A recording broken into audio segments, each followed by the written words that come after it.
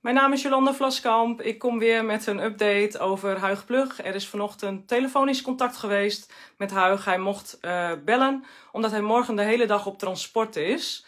Um, ja, ik ga jullie weer uh, mee laten luisteren naar wat Huig heeft te vertellen. Hij heeft mij toestemming verleend om in ieder geval een gedeelte van dit telefoongesprek uh, naar buiten te brengen. Met weer het verzoek om dit zoveel mogelijk rond te laten delen. Um, verder uh, had ik een uh, GoFundMe actie opgestart voor Huig. Om, met als doel om vliegtuigjes te laten vliegen. Nou, we zijn nu een week daarmee aan de slag geweest om dat voor elkaar te krijgen. En de meeste bedrijven wilden daar niet hun medewerking aan verlenen, omdat het een politieke ja, situatie is. de zaak Apeldoorn heet het inmiddels. Ik kan jullie vertellen dat er akkoord is om morgen vanaf 11 uur een vliegtuig te laten vliegen. Ik zal eventjes kijken wat de locaties zijn. Die geef ik zo door. Of ik zet dat eventjes bij dit bericht dadelijk. Dus nou ja, hartstikke mooi dat dat alsnog gelukt is.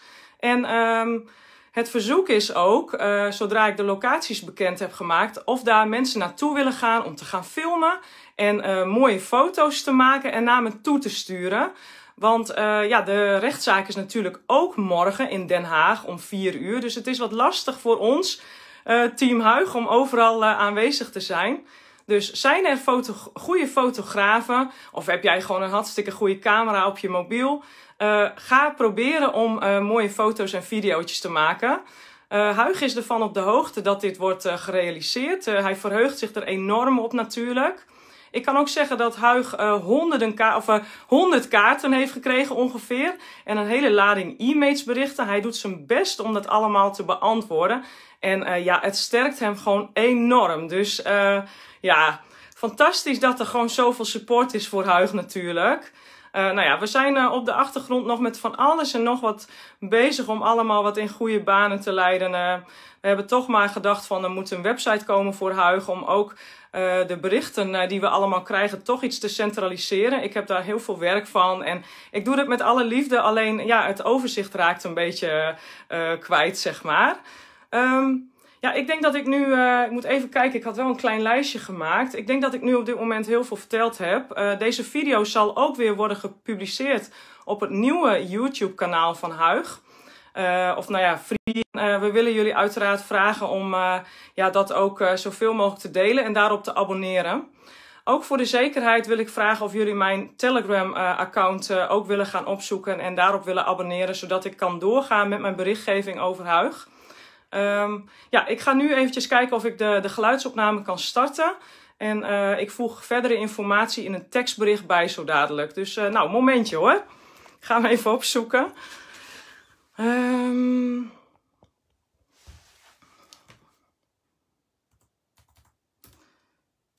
Komt hij zo? Nou, gaat hij. Oké, okay, dus uh, jij krijgt water mee? Of... Ja. Om eventjes... Oké, okay, zeg maar. De, de, directie laat zich niet zien. Momentje, zo. Ja, nu. Ja, zeg maar. Oké. Okay. Nou, dit is uh, Huis Vlucht vanuit de gevangenis.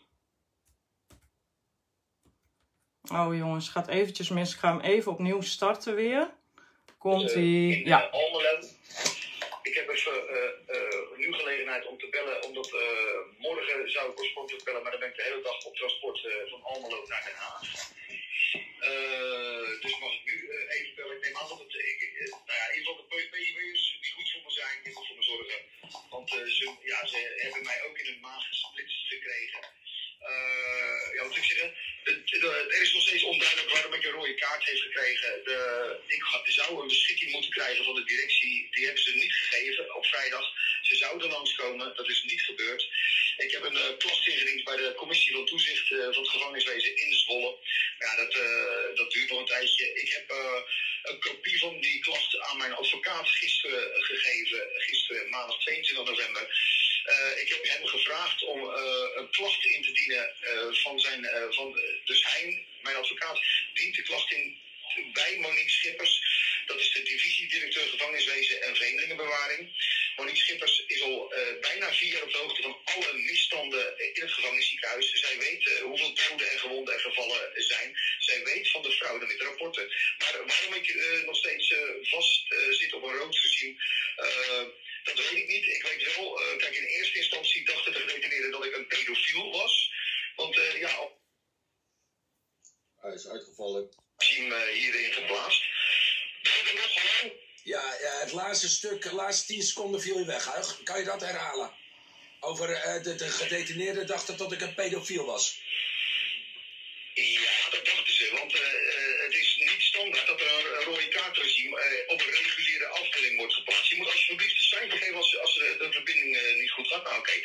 Dus ik werd hier geplaatst. Maar, de, en ze zagen buiten spandoek van tegen pedofilie. Dus dan denk je zo, ja, wat is dat nou weer voor gekkigheid? Dus zo je horen. Ze zien pedofiel en ze gaan allerlei dingen mixen. Afgelopen zaterdag hoorde ik een dreigement door mijn deur. dat van iemand zei achter de deur tegen mij van ik maak hem dood. En uh, hoor je me nu? Ja, ik hoor je. Ik maak hem dood. Nou, dat klonk als een serieus dreigement. Dat heb ik ook aangegeven. Uh, want ze dachten dat ik een pedofiel uh, was. Maar nu is de hele vleugel erachter wat ik gedaan heb. En nu steekt iedereen zijn duim naar omhoog. En iedereen vindt het heel debiel dat ik binnen zit. Uh, ik kan je zeggen, uh, Rutte, de Jonge en Grapperhaus zijn niet populair in de gevangenis. Horen we nog? Ja. Ja, Grapperhaus is uh, nummer één, het is niet zeg maar. Ja, nou ja, ik maak het nog goed. Ik kan je vertellen, ik, ik heb nu tien dagen niet gegeten. Ik voel me nog wel helder en scherp.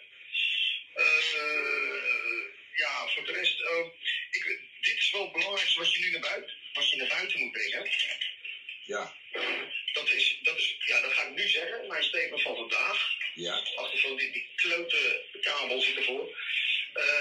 Mijn bel- en appgegevens zijn allemaal door de recherche uitgedraaid en doorzocht. De Kamerleden Gidi Markensower, uh, hij stelde vorig jaar september Kamervragen over mij. Gidi Markensower en Pepijn van Houwelingen hebben met mij uh, gebeld en geappt. We hebben ook buiten afgesproken met elkaar. Dat is de recherche, heeft alles uitgeprint. Uh, Gidi, Marcus Over en Pepijn van Houwelingen komen nu ook in mijn zaak voor, de zaak Apeldoorn. Ben je nog? Ja. Gidi belde mij nog vlak voor de arrestatie op uh, vrijdag 12 november 2021. Dat staat ook allemaal beschreven. Dat staat ook al vermeld. Nou, ja, de NCTV, AIVD, recherche, ik weet, ik lig daar onder de loep, want ik heb diverse bewijsmaterialen uitdraaien en gespreksverslagen, dat ik met hen in gesprek ben geweest over het een en ander. Ze beschikken nu ook over de privéberichten van mij en Partij voor de Dieren, fractievoorzitter Esther Ouwland. Uh, vanaf augustus 2013. Zoals uh, iedereen weet, of nog niet weet, Esther Ouwland en ik waren elkaars beste vriend en vriendin. En uh, we zijn best BFF'jes van elkaar, waren we. Nou, eh. ben je er nog? Want ik moet ja. Ja. de, ze komen ook uh, privéfoto's van mij en Esther tegen. Maar ook uh, medische gegevens van Esther. Dus Esther is, Esther Ouwland, partijvoorzitter van de, fractievoorzitter van de Partij voor de Dieren, is nu ook onderdeel van de zaak Apeldoorn geworden. ja, nou, dat is best wel interessant om te weten. Stuur het vandaag maar lekker de eter in. Esther Ouwland, fractievoorzitter, foto's van mij zitten, zijn nu ook bekend. Gidi Markenso en Pepijn van Houwelingen. Uh, ze zijn lekker aan het struinen. De, de, de, de trollen van de AIVD, want de AIVD gebruikt ook uh, trollen en de NCTV. Maar ja, dat wil ik dus even vandaag uh, Uig, weet, jij wie de, Uig, weet jij wie de rechter is morgen? Nee, weet ik niet. Geen idee. Ik beschik er niet over.